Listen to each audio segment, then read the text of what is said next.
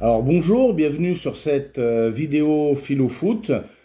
Bon, le, débrief du match que je vais vous faire aujourd'hui, c'est celui de, Marseille contre, contre Auxerre. Bon, bah, l'OM s'incline 3 buts à 1. On a tous suivi cette soirée catastrophique euh, au Vélodrome. On n'est toujours pas remis de, la défaite contre Paris 3 à 0, que voilà, bis repetita. Euh, de nouveau au Vélodrome, on prend un score euh, lourd, et là pas contre, on va dire, le, potentiel euh, champion de France, mais contre euh, bah, un promu. Alors un promu vaillant, c'est une très bonne équipe, victoire amplement méritée d'Auxerre, qui est très, très, une équipe très séduisante depuis le début de la saison, qui, qui, peut accrocher hein, des, des, grosses équipes. Bah, on passe, pour reprendre le film, euh, pour reprendre le titre d'un film d'Akira Kurosawa, on passe du paradis à l'enfer c'est le paradis, ben, on va gagner à Nantes difficilement. Hein, je dis pas que le match à Nantes était parfait. On va gagner à Nantes. Monaco a perdu. Euh, on arrive à la, deuxième place. On est, on est content, on est à l'aise. Euh, et là, ben voilà, un match qu'on aurait dû gagner. Ben non, on le, on le perd. Et là, ben on va voir maintenant la réaction des autres, des autres équipes. Alors, arithmétiquement, on n'est pas en danger. Mais du point de vue du jeu, du point de vue de ce qu'on a vu hier, ben, il y a quand même beaucoup de choses qui sont, euh, beaucoup de choses qui sont à, à, craindre. Hein, on, va, on va recevoir Lens, Monaco bien, bientôt, Lille. Là, euh, si jamais on ne gagne, si on perd, imaginons le scénario catastrophe, si on perd ces trois matchs, là au niveau du classement, on va descendre. Et bon, ben, De Zerbi a beau dire que le classement, tout ça, il s'en fiche. Non, c'est quand même quand même important. À un moment, il faut aussi avoir une vision euh, euh, réaliste euh, de, de, notre place dans le championnat. Hein. L'idée, c'est quand même l'année prochaine d'être en Ligue des Champions et non pas d'être dans l'art pour l'art. Je vous renvoie au très beau texte de Nietzsche, hein, ce qu'il dit dans, dans, dans l'art pour l'art. Non, à un moment, l'art doit avoir aussi des objectifs, le football aussi. Alors le match commence de la pire façon. Dixième minute de jeu, Sinayoko ouvre le score sur une grosse bévue défensive de, de Brassier. Alors, moi, je suis contre hein, l'idée du bouc émissaire. D'ailleurs, Ben, sur le space de Peuple Olympien, l'a bien dit. C'est pas, pas spécialement à Brassier qu'il faut en, vouloir. D'ailleurs, Brassier, son action de jeu, quelques minutes plus tard, il y a deux doigts de mettre un but de la tête et de se racheter. Non, quand une équipe perd, c'est toute l'équipe qui perd. C'est un collectif. C'est pas parce qu'il y a eu une erreur individuelle à un moment d'un joueur. Hein, le match, ça dure 90 minutes et il y a 11 acteurs sur le, terrain. D'ailleurs, Brassier, euh, n'est pas non plus, euh, euh, impeccable sur après voilà son, son 1 à 1 contre le, défenseur. Quoi qu'il en soit, 10 minutes de, de, jeu, un but à zéro pour, pour Auxerre. On se dit, bah, les Olympiens vont, vont réagir. Hein. Lirola essaye sur le côté droit. Enrique reste quand même assez fragile hein, sur, euh, sur, sur, sur le terrain. Greenwood ne va pas faire grand-chose. Hein. Greenwood, qu'on a fait venir, voilà, censé être le joueur vedette au-dessus de tous les autres. Je, rigole, hier, il n'était pas au-dessus de tous les autres. Au contraire, hein, Rabiot était peut-être beaucoup plus combatif que Greenwood, qui se contentait euh, sagement en première mi-temps, voilà, de faire circuler le ballon dans l'axe et tenter quelques, quelques petites choses. Ça n'a rien donné. Première mi-temps, c'est comme s'ils jouaient la peur au ventre, les, les joueurs. C'est comme s'ils avaient encore dans la tête la défaite de Paris et qui jouait la, contre Paris et qui jouait la peur au ventre euh, au, vélodrome, qui ne demandait qu'à s'enflammer. Là, De Zerbi, il a raison. À un moment, il ne faut pas se poser de questions. Il faut des kamikazes sur le terrain, qui appliquent, qui attaquent, qui pressent qui gardent le ballon, qui vont créer le jeu. Il n'y a eu aucune création de jeu euh, en, première mi-temps. C'est mièvre, on s'ennuie.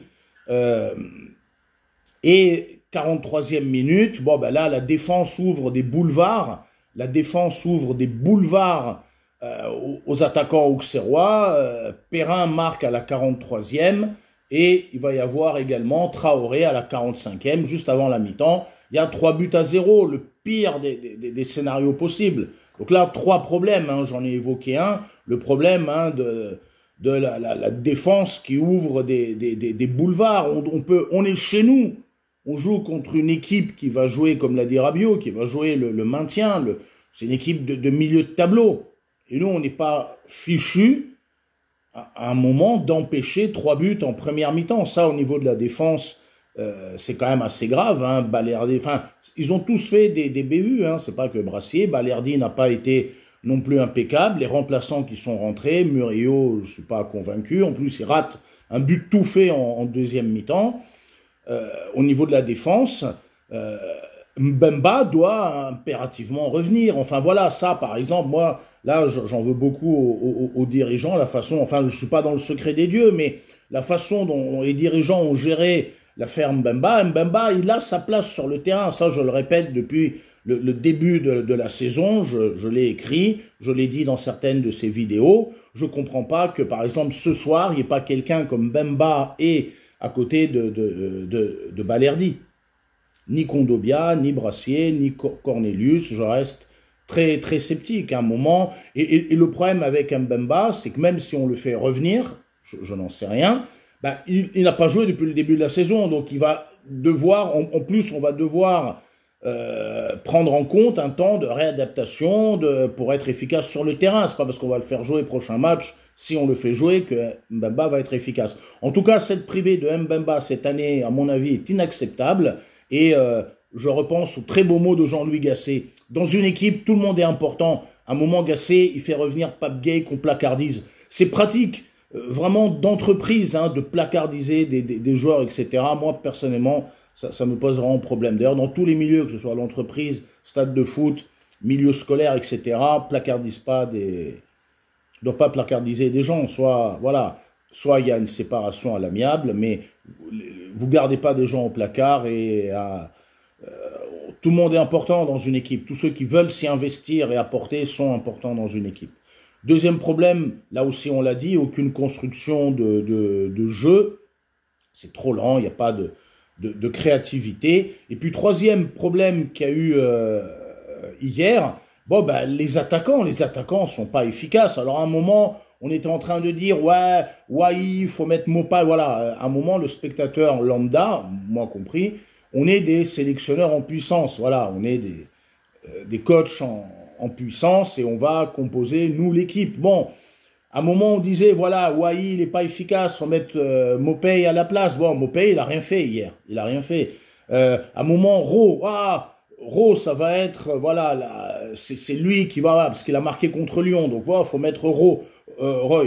Roy, il n'a pas été efficace hier. Il n'a pas été efficace. Euh, il a même raté, il a même raté en première mi-temps, notamment de la tête. Il a raté des, des buts qui étaient tout faits. Donc, voyez, je pense à la belle phrase de Bertolt Brecht dans la vie de Galilée. Malheur le pays qui a besoin de héros. C'est exactement ce que vit l'OM. Malheur justement aux équipes qui ont besoin de héros.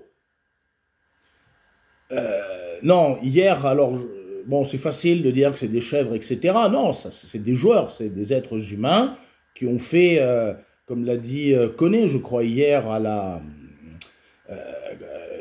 après la, dans, dans, dans l'après-match en, en, zone mixte, je crois que c'est lui qui dit ça, bon, ben, tout joueur qui signe pro, il veut bien faire. Donc, non, moi je ne vais pas dire que, c'est des, chèvres, c'est des êtres humains, mais hier, ils n'ont pas été à la hauteur, ils ont raté. Et là, il faut interroger, à mon avis, le collectif, il faut interroger le mental, il faut interroger le collectif. On les a vus faire de très bons matchs contre Nice, contre Lyon. Elle est passée où l'équipe de l'OM qui a fait le match contre Lyon? Elle est passée où l'équipe de l'OM qui a fait ce très beau match contre Nice? Au Vélodrome, elle est passée où cette équipe? Elle est passée où? C'est ça qu'il faut à mon avis interroger, le mental des joueurs, qu'est-ce qui va pas là-dedans? Qu'est-ce qui va pas dans la construction de jeu? Qu'est-ce qui va pas dans la construction de jeu? Et là, je suis désolé, hein, De Zerbi, quand dans la conférence d'avant-match, il dit « j'ai pas 20 ans, je sais ce que je fais, et vous me ferez changer difficilement d'avis », moi j'ai 53 ans, je coach une équipe de lycéennes et, de lycéens, bah si à un moment, euh, j'ai 53 ans, euh, des fois je ne sais pas ce que je fais, est-ce que j'ai bien fait, est-ce que j'ai mal fait, je peux me remettre en cause. Quand on avait pris la défaite avec l'équipe féminine contre les collégiens, je me suis dit, bah peut-être il faut que je m'intéresse davantage au football féminin si je veux entraîner une équipe féminine, et c'est ce que j'avais fait. À un moment même, le coach Nel avec qui je travaillais m'avait dit, t'as du courage, oui, je regardais les matchs de foot féminin tous les week-ends, je vais voir de la D2 au Maroc, J'essaye d'aller voir même, je suis déjà allé voir justement des U16 pour comprendre, voilà, des U16 au FUS féminines pour voir, pour comprendre, entraîné par l'excellente coach Rachida, pour comprendre. Donc oui, à un moment, ben, je peux, à un moment, oui, on, peut me faire changer d'avis. Je discutais avec des, joueuses, je discute aussi avec les, les, joueurs, là les U16 aussi, je découvre cette nouvelle catégorie avec le coach Marc. Bon ben voilà, à un moment, euh, je peux me tromper, je peux justement ben, revoir ma copie. Et je pense que là, deux Herbie, il faut revoir la, la copie. Hein. Quand on aime, on a toujours 20 ans de Zerbi. Quand on aime, on a toujours 20 ans, comme dit la chanson. Et du coup, c'est facile de dire, ouais, euh, si c'est moi le problème, je m'en vais, etc. Après 11 journées, un supporter de l'OM l'a dit. Hein. La semaine d'avant, tu dis que tu es amoureux de ton équipe. Là, tu veux partir. Hein. Euh, c'est Serge Gainsbourg, je t'aime moi non plus. Bah, J'espère que bon, tout ça va se tasser. On a quand même besoin d'un coach de, la qualité de, de Zerbi je pense que là, il faut voir avec les joueurs comment mettre en place la construction de jeu, non pas forcément celle que je veux, mais celle qui peuvent justement réaliser, pas, pas brider des joueurs, pas leur faire faire des choses qui sont impossibles de, faire. Moi, j'étais sûr, hein, j'étais sûr que deux Zerbi allait à la mi-temps parler aux joueurs. On était mené 3-0, je l'avais dit au Space du Peuple Olympien. Je me suis fait bien évidemment bouler, mais c'est pas grave, je l'assume. Je l'ai mis sur également Twitter à la mi-temps, je me suis fait également chambrer ou voire même attaquer, je m'en fiche. Il y avait 0-3 pour Auxerre à la mi-temps et sur le space du peuple olympien, j'avais dit je suis convaincu qu'on va gagner 4 buts à 3. Comme contre euh, voilà, comme contre Montpellier, on perdait 4-0, on avait gagné 5 à 4, le fameux match contre Lyon qui se termine à 5 partout. J'ai cru en vous, les joueurs, j'ai cru en vous, j'étais sûr, j'étais sûr qu'on allait gagner 4 buts à 3. J'étais sûr que quand vous alliez revenir sur le terrain en deuxième mi-temps, deux Herbie vous auraient parlé, ils vous auraient boosté mentalement, on aurait vu des vrais guerriers, on aurait vu une équipe avec un autre visage sur le terrain, il y aurait eu peut-être quelques changements, on aurait vu Wai, voilà, Wai qui revient euh, qui rentre en deuxième mi-temps, qui fait le match de sa vie, Wai, qui marque trois buts, et on revient à trois partout, et Rabiot qui marque le quatrième but, le but de la victoire. Je me suis dit, on va voir un Greenwood qui va vraiment s'imposer justement au-dessus des autres, en, en, vrai, voilà, véritable héros, tu parles rien du tout et je maintiens. Et même s'il avait été héros hier soir, j'aurais pas changé une virgule aux lettres, à l'article que j'avais fait sur lui. Euh, dans Peuple Olympien au mois d'août, au moment où il est arrivé à Marseille. Mais hier encore, Greenwood a montré qu'effectivement, euh, c'est pas du tout ce que des supporters enthousiastes à son arrivée euh, ont cru. Je répète la phrase terrible de, de Brecht dans la pièce de théâtre La vie de Galilée. Malheur le pays qui a besoin de héros. Malheur à un OM qui a besoin de héros comme Greenwood, je maintiens. Malheur à l'OM qui a besoin de héros, voilà, comme Jonathan Rowe qu'on attend et qui a, fait de son mieux, mais qui n'a pas été le héros que justement on attendait.